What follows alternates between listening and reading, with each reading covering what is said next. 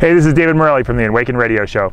Yesterday we had a Zen master on the show, and he's going to be talking about the integration of the Eastern philosophies, the Western philosophies, them coming together in a usable form for you to be able to apply in your life. Here's some of the highlights. We're calling this show Zen Waken Your Life. You know, this is the Enwaken Radio Show, and we have a Zen master here today. So, um, Genpo Roshi is his name. So, welcome to the show. And uh, today we're talking about um, Zen wakening people's lives and Zen wakening the West, you might say. You know, the the waking up to the power of, in a way, the intangible, and making that intangible have a real effect in the tangible in our lives. You know, um, as you're talking about that, w- one of the things that I've described also, which fits perfectly with your model, is um, related to any kind of attachment, particularly money what people will do initially is try and grab onto money. You know, money is the only thing. And then they'll say, oh, well, let me push that away. I've been enlightened, you know, so I'm going to push away right. money. Then I'm going to separate from it. And they go all the way to the, the other side of the triangle that you're talking about. And then eventually you reach a place where you realize that money is also part of oneness. Money is also part of the experience of life and the richness of life. And so you get out of a competition with one or the other and you, you're able to include. And does that fit for you as, as you're Absolutely. talking about the model? Yeah.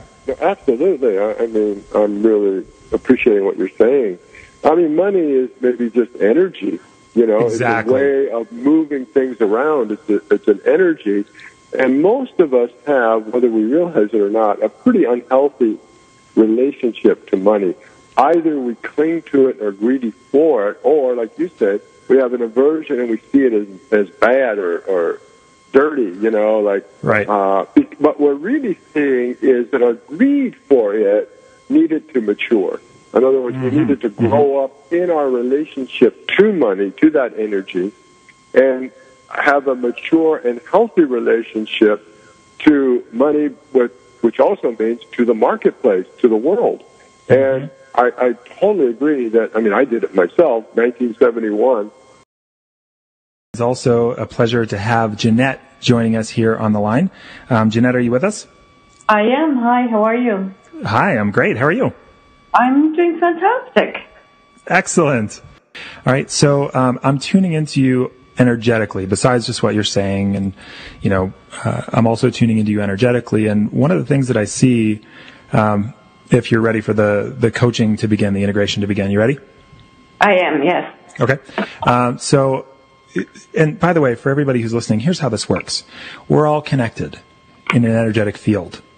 And we're connected in this energetic field as points of awareness, you might say. And one of the things that I do, but also, and that I learned to do, uh, is to tune in across a distance to the energy within this continuity sounds a little odd, but um, I also teach people how to do it. It's called the Enwaken Coaching Program. I teach them how to do it to help transform other people's lives. And you can make a business around it, which is really fun.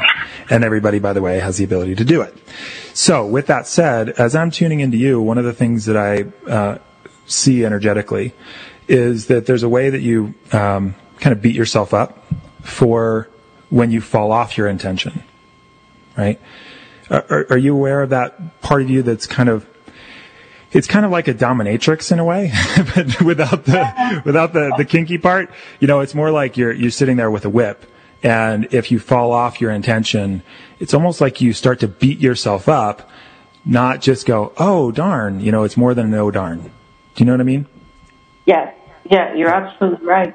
Um, you know, I've always been a perfectionist. You know, that's like an old hereditary culture that I come from, and um, you know, if I'm not doing it perfect, then yep. then I go on this this uh, roller coaster, like you say. Oh, absolutely. Yeah, you're yeah. you're uh, you're right. Yeah.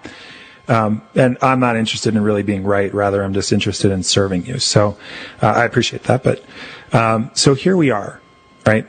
And you were talking about your intentions when you go into meditation. And for everybody, this applies to you wherever it is that you are, right? Regardless of whether you have an intention in your life or you have an intention going into a practice. But since you have a practice, Jeanette, um, let's use that as a doorway.